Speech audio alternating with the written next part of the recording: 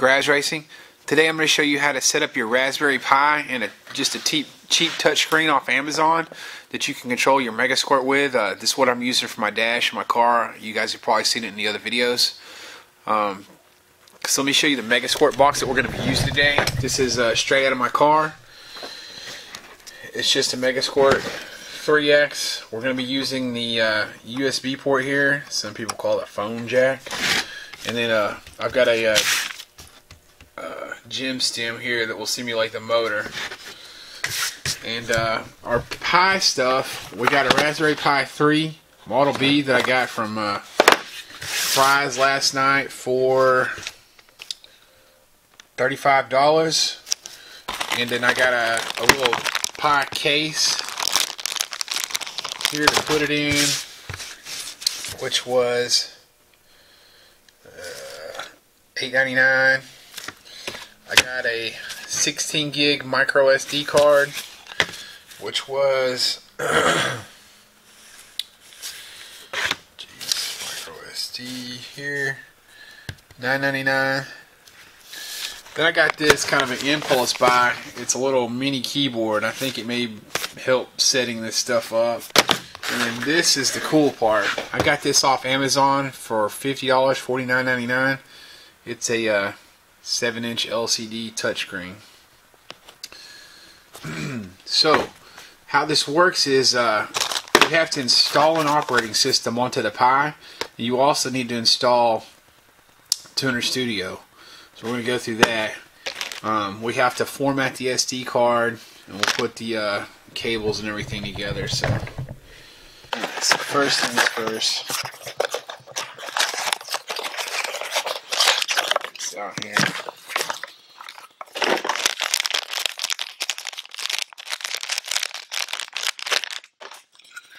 This is the Pi. And this is.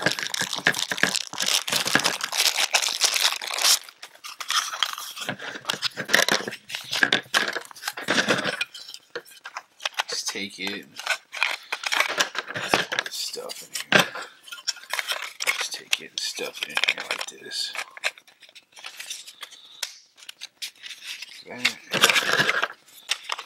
This beautiful pink case on here.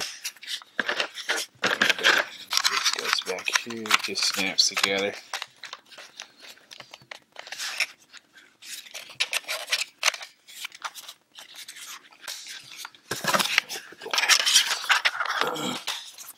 That's the Pi.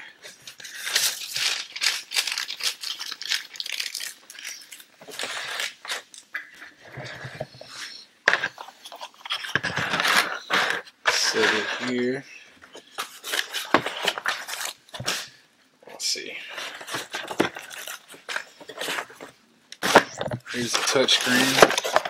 It's got uh, CD drivers we don't need. It runs off HDMI. This HDMI cable comes with it, and then you also have to have USB power for it. Get that over there. That's what it looks like. It's got uh, two micro SD ports and an HDMI on the back.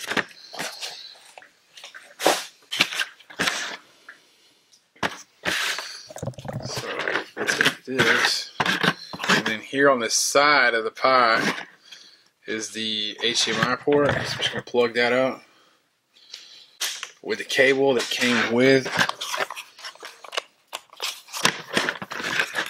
the screen. Kind of nice. You don't have to have any extra stuff or buy any extra things. They just come together. And then uh, this is the micro SD or micro USB and we'll just plug it into the side of the Pi right here. And while I'm here, let's get this thing out.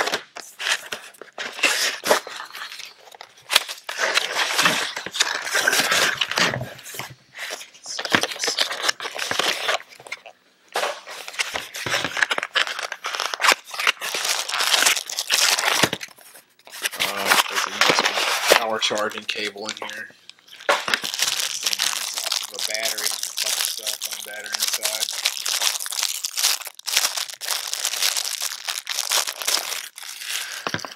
that and this could be handy in the car uh, if you're having trouble with your touchscreen you may want to hang keep it around inside it's got this cell phone battery here and it's got this USB dongle thing right here Throw that to the side. Close it back off. There's that. I'm gonna take this little USB dongle, shove it right in here. The Pi, the Pi has built-in Wi-Fi, so you really don't need anything to it. This is its uh, keyboard controller there.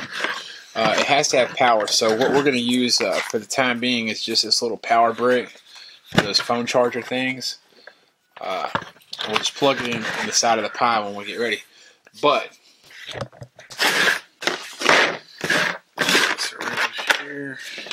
it's basically this. You just stuff this in your dash somewhere, and then you'll have uh, either Bluetooth or a long USB cable that comes back to your Megasquirt wherever you mount your car, and that's your screen rig.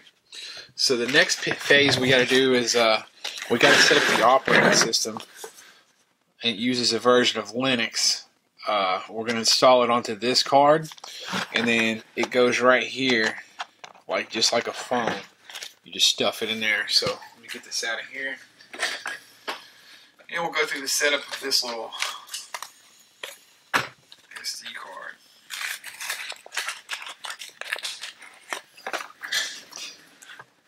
Just gonna stuff this in here.